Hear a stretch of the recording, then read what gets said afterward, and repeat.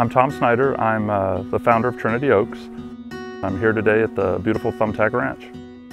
Thumbtack Ranch is a 2,000 acre uh, sportsman's paradise here in the Batesville area. We use the ranch to impact the lives of underprivileged, of our uh, combat and Purple Heart veterans. We do dream trips for terminally ill children and adult people that are battling life-threatening um, or terminal illness. Purchasing this ranch, it's given us ability to carry on our legacy.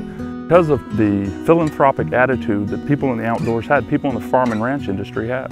I became associated with Texas Farm Credit because of meeting Wade Sharp at uh, some different fundraising events. Texas Farm Credit is very philanthropic and supports a lot of charities throughout the San Antonio area and throughout Texas. The amount of donors and sponsors that have stepped up in addition to Texas Farm Credit to help us with this endeavor has just been amazing.